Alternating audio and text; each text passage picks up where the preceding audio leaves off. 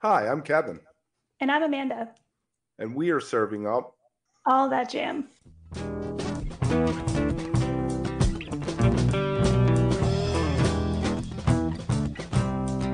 All that jam, quick hit. Helen Gillet on women in jam bands. Why do you think that there aren't more women in quote unquote the jam band scene?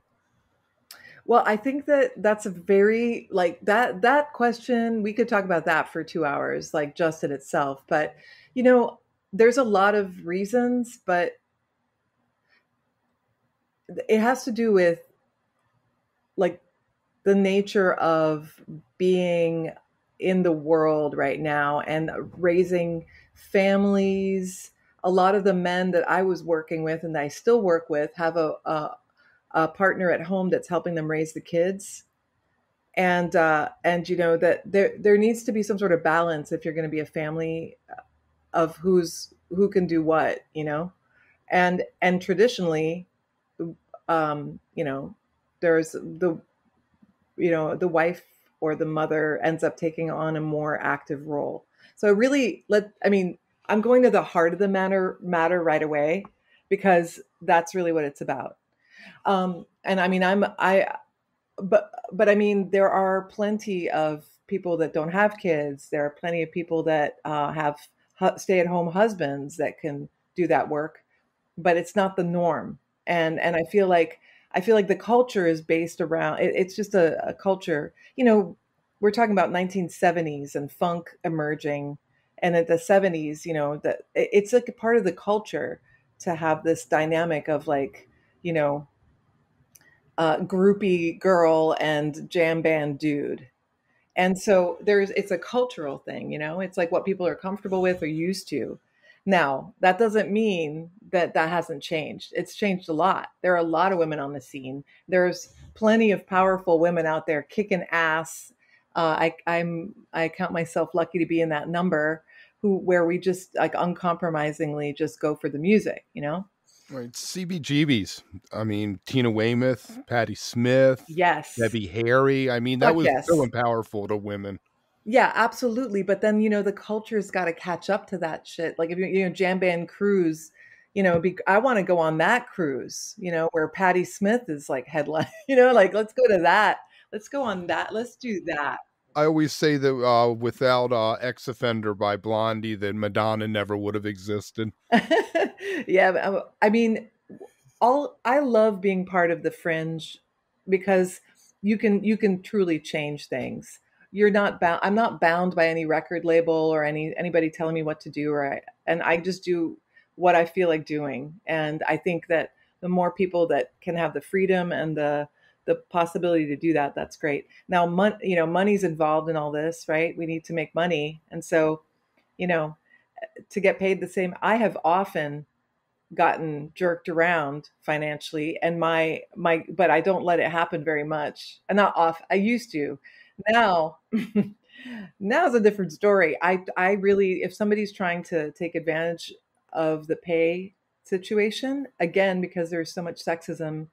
Uh, you can you just you know just name drop the last guy that you just like pl- play played with. And you're like yeah don't worry about it. Whatever you paid mike dillon's cool with me you know or whatever you paid james singleton. Like i or jeff coffin. I made a duo album with jeff coffin and i've just got a uh, he just put out a second album with me on it which with james singleton johnny Vidacovich, and Tony Dagradi. It's called Look for Water. So, so you got three quarters of Astral Project there, huh? Exactly. He was mooching. He basically hired Astral Project and added me in the mix, you know.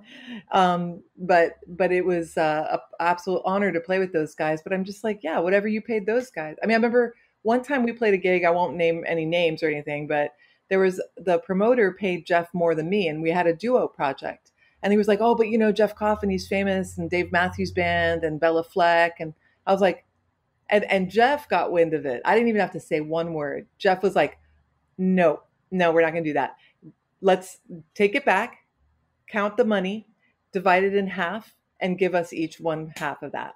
So it just, you, you, know what I mean? Like you got to, but you got to check people. People have it ingrained. It's a, it's, it's an ingrained thing. You got to like you gotta shake it loose, you know. It is. I I've struggled. My poor kids. Um, just watching when they first went to school, how they were immediately brainwashed in elementary school to stuff. You know, they came home like this isn't the way the world you've presented to me. I, I Yeah. was a single dad, so they, they they had a weird worldview, I guess, coming up. That's good though. I mean, yeah, I mean that's the thing is like who's defining this normal thing? Like like let's and, and and none of us are normal, especially not in the jam band crew. Like we're all we're all like we're all a bunch of freaks, you know? It's just like it's good. It's and and it I mean, I I'm I'm sort of a surprising freak. People see me, they see this like, you know, white lady with a cello and they're like, "Oh, okay, it's going to be this." And then I like sit down and start playing and they're like, "What the hell is going on here?" You know, like I opened up for Les Claypool and broke two string. I was by myself at the Orpheum Theater and I I broke some strings while I was playing. Obviously, I was hitting the strings extra hard because it's Les Claypool. Right. Um, but I I was like, yeah, you guys want to see me change a string? And like I had the whole everybody like I just you, it, doesn't matter what you look like, what your what body you're born into. If you if you have the spirit of music, you can take that with you and it can be a passport and an entry point into just about anything, you know. Yep. Especially especially New Orleans was really inviting, man. It was like I could talk my way into like I said almost any band with just gumption, you know. Like Right. you need a cello in this band, don't Right. you? Confidence is key. That's right. oh my God, what oh. would I be without it? If you are enjoying All That Jam, please like and subscribe to our social media channels at All That Jam Pod on Twitter, Instagram, and Facebook, or visit our website, allthatjampod.com. Make sure to sign up for our email list and tune in every week for new episodes.